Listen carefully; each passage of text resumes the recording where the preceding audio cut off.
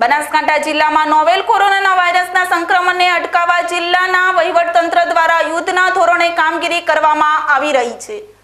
બનાસકાંઠા જિલ્લા માટે રાહતના સમાચાર છે કે જિલ્લામાંથી બે કેસ પોઝિટિવ કોરોનાના નોંધાયા હતા અને ત્યારબાદ આ બે પોઝિટિવ કેસોના સંપર્કમાં આવેલા લોકો સેમ્પલ લઈ રિપોર્ટ માટે લેબમાં મોકલવામાં આવ્યા હતા.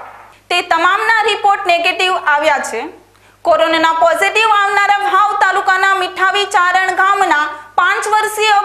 મહેક અરવિંદભાઈ વાડાલિયાના સંપર્કમાં આવેલા આઠ જેટલા લોકોએ અને પાલનપુર તાલુકાના ગઠામણ ગામના પંચાવન વર્ષીય સોમાભાઈ ખેમાભાઈ પરમારની સારવાર કરનાર ચંડીસર સીએસસીના ડોક્ટરના ગઈકાલે સેમ્પલ લઈ લેબમાં મોકલવામાં આવ્યા હતા.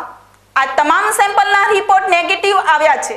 આ બે પોઝિટિવ લોકોના સંપર્કમાં આવેલા અન્ય લોકોના પણ સેમ્પલ લઈ રિપોર્ટ માટે મોકલવામાં